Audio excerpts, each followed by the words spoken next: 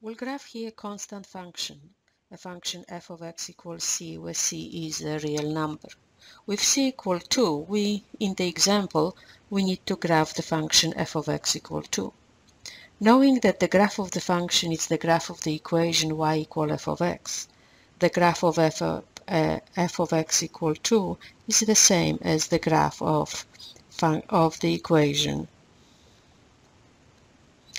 y equals 2 and we know from algebra that the graph of y equal 2 is a straight line, horizontal line going through the uh, y equal 2. This is the graph of f of x equal 2.